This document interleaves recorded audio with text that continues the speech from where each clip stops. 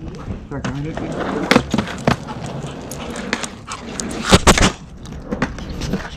Get out Shakti. Don't knock it over. Shakti, kasih ma'am.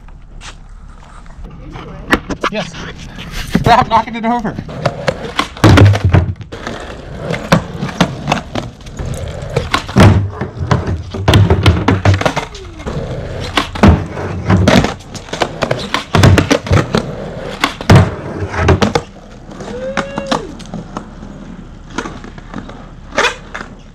Thanks for stopping by my YouTube channel. Today I want to talk to you about what it's like skateboarding again after taking 25 years off and being 36 instead of 11 or 12 years old. I felt like a complete beginner again.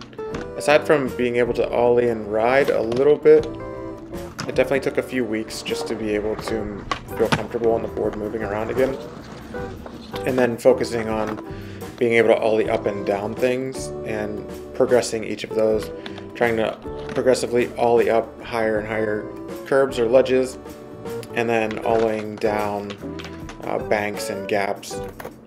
And I feel pretty good about the progress I was able to make in the first month. Now, when I was a kid, I didn't really have a plan for progressing.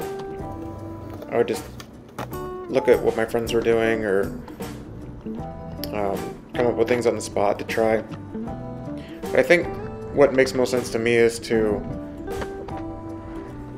get comfortable in every stance to try to create like a 360 degrees awareness of myself while I'm on the board. So in regular stance, in switch stance, fakie, and nollie, to be able to ollie in each of those stances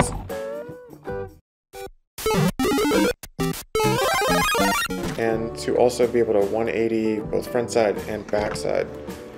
And that's something I've been focusing on getting comfortable with and something I work on each time I'm going outside. And then also uh, manualing, just getting comfortable on two wheels.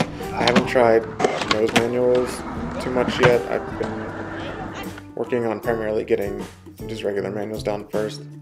I watched a bunch of videos from the other 30 plus year old dudes skateboarding, and it seems like the biggest challenge for myself or any of us is to do this consistently without getting injured. So I think that'll be the biggest test. It looks like most guys within six months to a couple years blow a knee out or something like that. And I think that I'll share videos in the future of the things I do to make sure my joints are staying strong and healthy and not overdoing it and not having any catastrophic injuries. I've had enough already and don't really plan on doing any more in my lifetime.